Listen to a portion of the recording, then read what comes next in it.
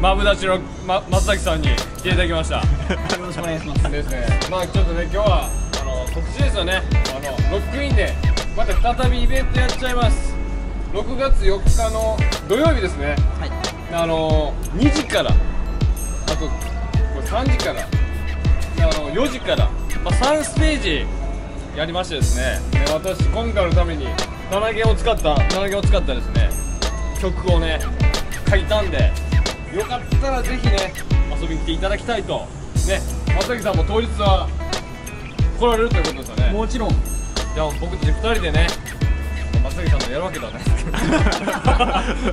ねスタッフ一同ねやっておりますんで、よかったらですね来ていただきたいなと。よろしくお願いします。よろしくお願いします。お待ちしております